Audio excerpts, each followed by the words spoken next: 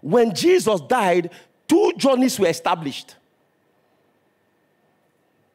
One of the journey was downward, and the other was upward. Hebrews 4:11. Quickly, let's run. I'm looking at what Jesus established, what that altar projected, what that altar propagated, what that altar represented, the substance of that altar.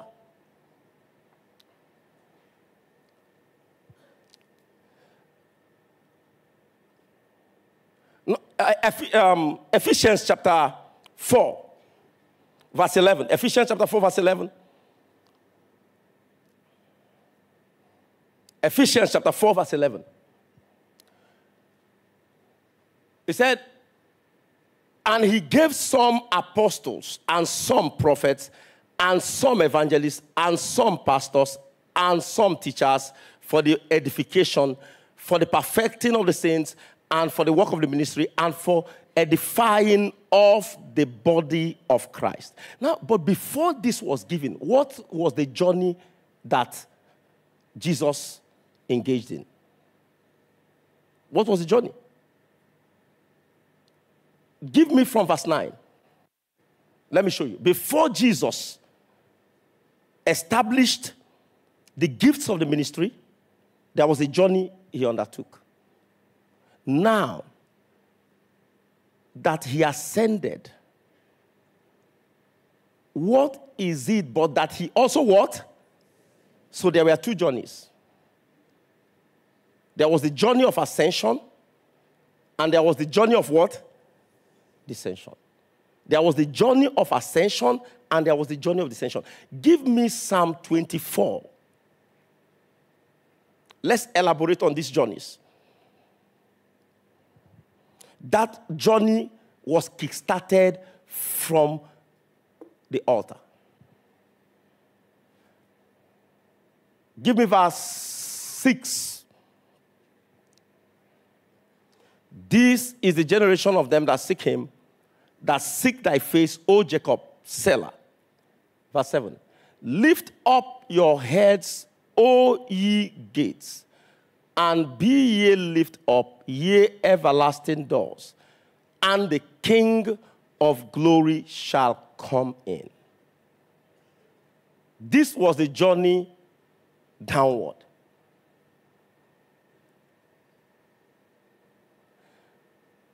Jesus descended before he ascended. Upon descension, there was a mission to collect that which Satan had stolen.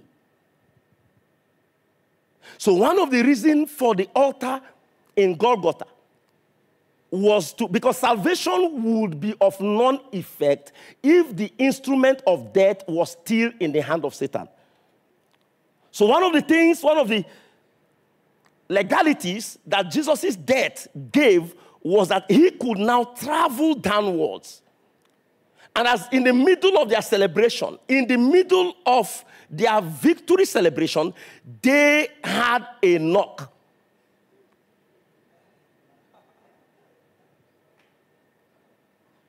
God will cut short the celebrations of your enemies. Did you pick that? I speak to everyone under the sound of my voice, online on site.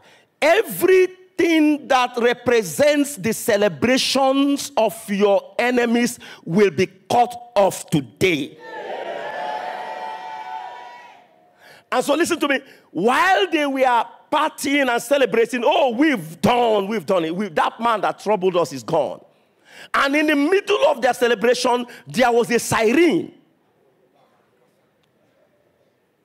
Oh my God. you don't understand the potency of this altar. Who is there? Jesus didn't need to talk. The convoy replied,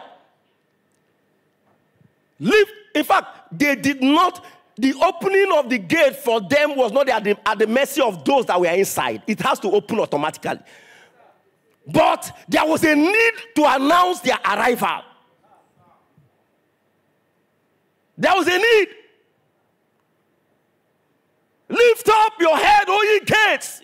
It was an eternal gate. I don't care how eternal. The altar that is on your case is tonight. We came to challenge them. Oh, I, am I'm, I'm speaking from, from a deep substance now. Hear me, I came furious in the spirit. I came to attack Satan today. So I'm saying that I don't care how ancient the altar is. I came with an altar that is called the ancient of all ancients. It was, it was evidentiated by the triune God. It was the blood of Jesus, who is the second person of the Trinity, that announced that this man indeed was a righteous man. Upon his baptism, the Spirit came and said, This is my son. Ah, how many witnesses? You, when he was to be born, God had to transport the angels and meet these Levitical shepherds to tell them, You see that thing you have been doing, the original version has come. So go back. This time around, you will not find a shepherd, you will not find a lamb, you will find a human being wrapped in the same instrument you use in wrapping the sacrificial lamb. This time around, he's not taking away the sin of Israel, he's taking away the sin of the world. His blood speaks better things than the blood of Abel. I don't care the power that is sitting over your authority. I came with the power of the ancient. When he announces, he does not need Satan to open the door. The door will open. Hey! This requires some tongues in one minute. Hande sumanaya. Menate brasuna. Satan will be humiliated tonight. Ah! Samiyatona. There are men and women that will arise tonight and torture the devil. They will take their place in destiny. Their ordination will rise again. They will shine brighter. They will lay hand on substances that are eternal. Substances that are eternal. Because Satan will be quieted. Satan will be silenced. Amane tunaya. Kane shapatuna yate apura. Kwa zenatina pua. Nina. Nina ndiatuna. Helbiatua. Kwa shapaswantena. Lina. Lina yes abiatuna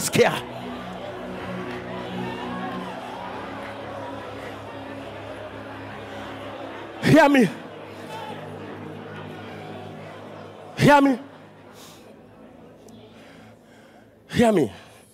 He said, Lift up your heads, O ye gates, and be ye lifted up, ye everlasting doors, and the King of glory shall come in. Verse 8 they asked, Who is this King of glory? We are celebrating a certain victory here. Ah.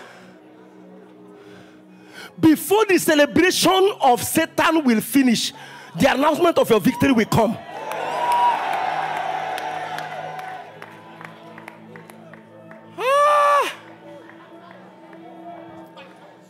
I feel something. I feel something. I'm not ordinary. Hear me. There will be a report that will intercept the report of the devil. I said there will be a report that will intercept the report of Satan. That report that is from hell, there is a message that is coming to swallow it. I said there is a message that is coming to swallow it. Who is this King of glory? Who is this King of glory? I thought somebody would give me a reply. Who is this King of glory? Oh, let me explain that. The Lord strong and mighty, the mighty in battle. It means that This is a man that takes pleasure in war. So if your life has not experienced war for some time, you can organize one and invite him. you can organize one and invite him. He's ready to war, sir, anytime. He takes pleasure in war. So when your life is too quiet, he's not happy. Is there war? Is there war? Invite him, invite him. Okay, invite him. Jonathan, invite him. Invite him. That is his hobby. That's his hobby. Shake somebody and say, Do you know his hobby? He's a man of war. He's a man of war. Oga, Oga, you have been quiet for too long. You've been quiet for too long. Oh, you don't know that your king is a man of war. That was his introduction. The Lord, strong. He doesn't just make mouth. When he's come, when he comes to the battle, he has the strength it takes to achieve victory. The Lord, strong and mighty. The Lord, mighty. Can we shout it like a congregation? The Lord, the Lord, the Lord, Ancient Clan, the Lord, the Lord, online on site, the Lord. That was his introduction. Give me the next verse. Another announcement came. Lift up your heads. Notice that they didn't say open for us. Did you notice they didn't say open for us? We don't need the one inside to open. We are speaking to the gate. The gates will open. The gates of Macaulay will open. I, I'm drunk right now. I'm drunk. I, I'm drunk right now. The gates of Nigeria will open. The gates of the nations will open. The gates will open. The gates of nations will open. Ah, I feel like shouting. I feel like running. I feel like shouting. I feel like running. Martha, gates will open. Nations will open. Satan will suffer so much humiliation tonight.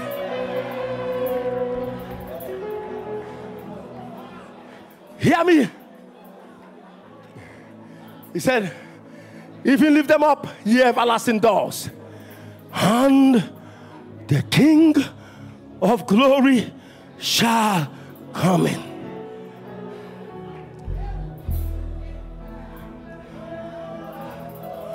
And the door opened.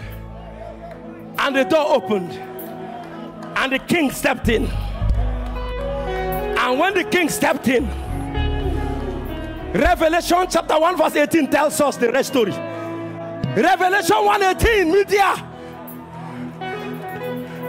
Media, Revelation 118. The rest story is there. I am he that liveth and was dead. And behold, I am alive. Oh, I am alive. Forever. Forever. Somebody jump. Somebody celebrate life. Celebrate life. Celebrate life. Celebrate life. Celebrate life. Celebrate life. Celebrate life. Hey! Hey!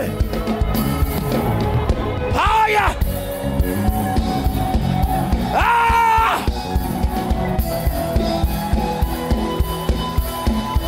Hear me.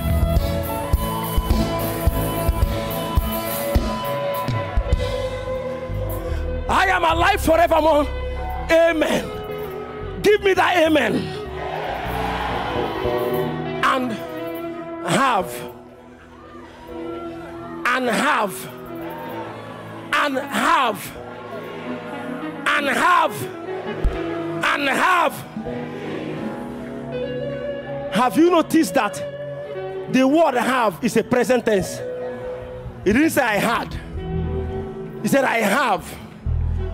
Presently, no mosquito can die without the signature of Jesus. Not even a mosquito. Because the key of hell and death is in his hand. Oga, he's your friend. He will not use it against you. I am glad that I belong to Jesus. The key of death is in my friend's hand. Any day I die, it is because God called me, not because Satan is powerful. Because the key of death is in the hand of my friend. He said, Now, if you look at Hebrews chapter 2, verse 14, he said, Through death, he took the key from the one that had past tense. Ah, let's do that grammatical comparison. Can somebody see? Let's read the last part. That through death, he might destroy that had.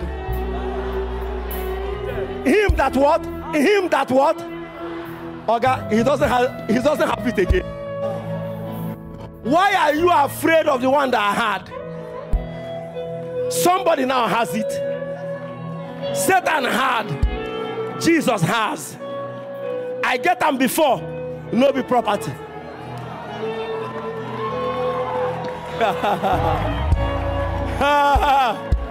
hey!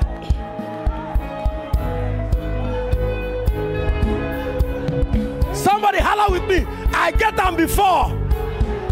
No be property. You woke up and you died in the dream. Stand up and go and buy coke and bread and drink and Satan has not the key anymore. He lost it because there was a journey of descension. That was the first journey. He said, I have the key now.